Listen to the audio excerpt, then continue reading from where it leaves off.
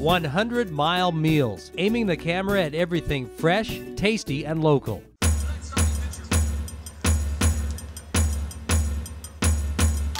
There is something really appetizing about a San Jose Giants game.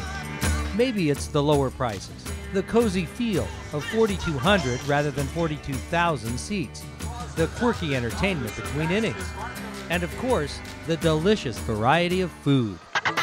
We've got a great family atmosphere. You're a lot closer to the action as far as the ball game goes as well.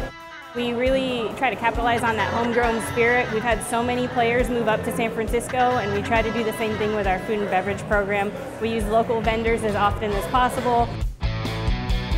As long as the San Jose Giants have been running, Turkey Mike's has been one of the main focuses of the ballpark. It's a great barbecue area. There's always a long line, but it's always well worth the wait. And we try to keep bringing new items to the ballpark every season. We have tacos, we have garlic fries, we have everything you could possibly imagine. It's something that we just want to keep our fans guessing and keep them excited to come to the ballpark the next time. I'm partial to the Frickles. Uh, it's our fried pickle. We sell it at our Lagunitas stand. Our Lagunitas sales rep actually sells fried pickles as well, so we get both items from him and we, we love it. The San Jose Giants have played in historic Municipal Stadium for over 70 years and more than 4 million fans have cheered the Major League stars of tomorrow here in a relaxed family atmosphere. But don't downgrade the level of play. This single A team has won six California League championships as a Giants affiliate and 11 overall.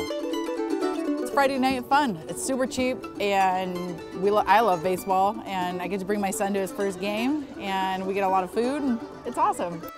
I had a tri-tip sandwich. It was phenomenal. Way better than I thought ballpark food would be. I can't believe how much food they gave me for the price. That was that was a good deal. I like the close-knit atmosphere of it. It's a good time. You get to see some of the up-and-coming players and get to know them before they get pulled up to the major leagues.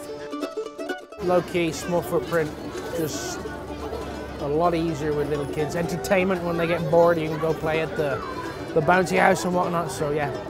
And for us in San Jose to go all the way to San Francisco, it's like a whole day ordeal to get up there. You pay tons of money to park, tons of money for tickets. This is very inexpensive. And if you have to leave early because, you know, the kids aren't being well, um, not a problem. The great American pastime, delicious food and drink, and seats near the action that would cost a fortune in the big leagues. Brought to you by Performance Food Service Ledyard and McCain. Simple ingredients, simply prepared.